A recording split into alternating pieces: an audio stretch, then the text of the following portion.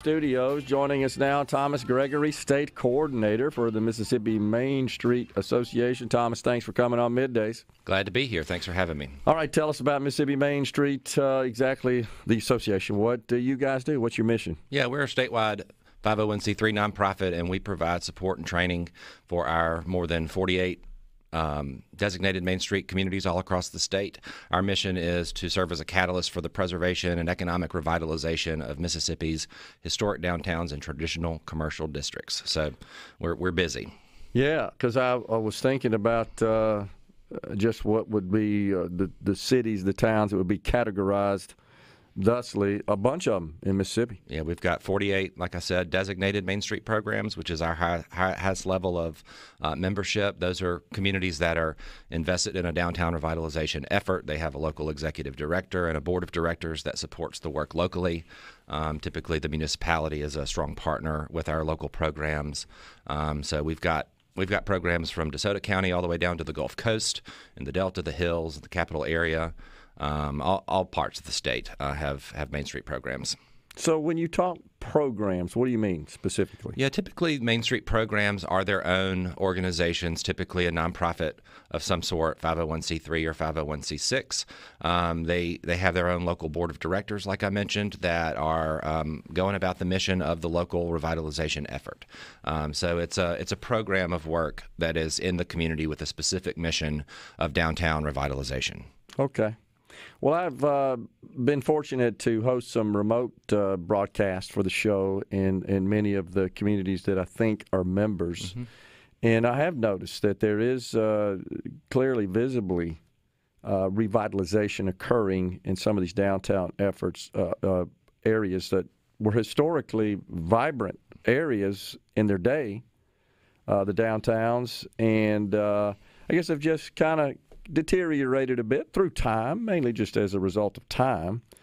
And now there seems to be a concerted effort to kind of restore those to where they were and maybe even make them better. That's right. And and the decline of downtowns was not just a Mississippi thing, it was yeah. a national trend that happened um, really in the 60s and 70s and on into the 80s. And um, that's how Main Street got its its founding in, in the early 1980s. There was a group with the National Trust for Historic Preservation that wanted to see if they could apply the same sort of preservation ethic to a downtown revitalization uh, effort, and they they adopted a couple of cities in the, the Midwest and found that the model that they used was very successful at bringing those downtowns back to their former uh, glory, if you will. Uh, and so that model became what is now, now known as Main Street. And, and, Mississippi's program was founded in 1984. We'll be celebrating our 40th anniversary next year.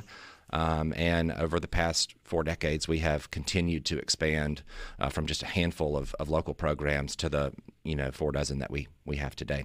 What are the benefits? Um, I think the benefit of, of being a Main Street is, um, you know, having access to the resources that we and our national organization provide. Uh, I think it's important to remember that revitalization doesn't just happen on its own; that it takes a concerted effort and a very, um, um you, you know it takes a framework for, for that. And so we, we follow sure. a model known as the Main Street approach that focuses on four different areas that work together. And so it's it's the thought that goes into doing the work that it takes uh, day in and day out to achieve sustained revitalization over a long period of time. Yeah. Uh, and this is important in in, uh, in, especially in a state like Mississippi, where the population is uh, fairly dispersed. Mm-hmm. We we are more of a rural state, but it's it's rural areas that are served by these downtown communities that, uh, frankly, are are are serving a large population that is is fairly spread out. I mean, that's just the nature of our state. That's right. And I think Mississippi is a really good case study for how the Main Street approach scales. We yeah. have Main Street communities uh, in really small places like Woodville and Tunica. Right. Uh, and then we have Main Street programs in some of our larger cities like Tupelo and Hattiesburg and Biloxi and Gulfport.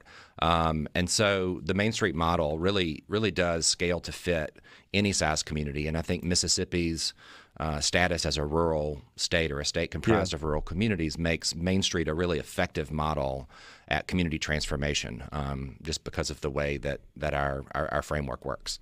Do you work with the legislatures, anything at the state level, from a policy or, or um, law perspective? Yeah, so we we are in close partnership with the state of Mississippi. We've been um, uh, partners with the, Mississippi Development Authority and the Department of Archives and History since our founding.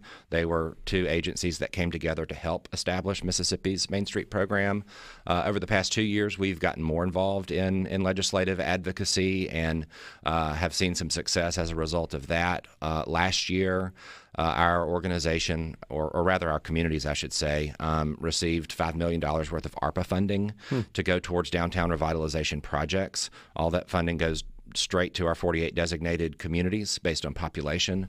Uh, and this past legislative session, the one that just ended, we saw sort of an addendum to that. They they allocated an additional three million dollars in ARPA funding uh, to sort of tack on to the five million dollars that our, our programs received last year. So uh, we are working with all of our communities to identify the projects that are going to have the biggest impact in the communities and, and implement those according to the, the guidelines that uh, the Department of Treasury sets out for all of the ARPA funding uh, that is dispersed. So we're really excited about uh, those opportunities, and, and, and we know that the types of projects that Main Street does and will do with these funds will will be good stewards of that uh, of that money. And um, I think it's going to be something that people around the state are going to start to see uh, and understand the value that, that Main Street can bring when um, you know there's a little bit of an investment in our downtowns. Are most of these projects are are they more common infrastructure in nature, or are they um, remodeling, renovating building structures that have existed in the uh, downtown areas for a long time, the main streets,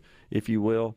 or combination of the two? Yes, and yes. So um, you're going to see some of those funds being used to improve streetscapes and public spaces in a downtown. Um, I know some of our communities are interested in doing uh, facade uh, improvement programs where they're uh, fixing up the exterior facing walls of, mm-hmm. of buildings, uh, historic buildings in the downtown. Um, some of our communities are interested in uh, creating wayfinding signage systems to help visitors uh, navigate the community and know where the top destinations are. Um, all of those.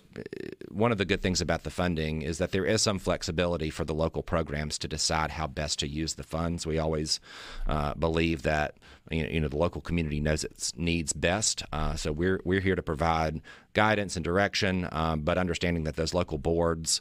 Um, know their community best and they know the projects that are going to have the biggest impact. And so uh, we're looking forward to seeing the fruits of, of that work um, start to happen here in the pretty near future. So you talked to us about uh, some public funding. Specifically, you said you receive uh, some uh, via the ARPA uh, program. What about private funding? You receive some, is that as well? We do. So our funding, you know, in part comes from um, state, the state um, you know, budget. Mm-hmm. Um, we also um, partner really heavily with the corporate sector in Mississippi. So, uh, you know, uh, uh, we receive a lot of private sector support. Um, I see.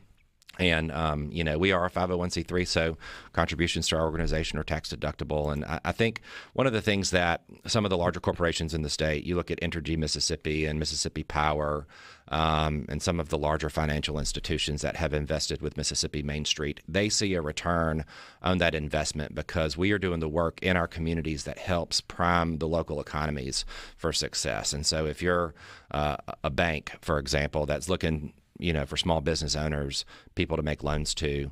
The work that Main Street does helps create, um, you know, an economic environment that is ripe for job creation, ripe for business growth and expansion, that catalyzes public and private investment in a community that ends up being good business for the financial institution. Yeah.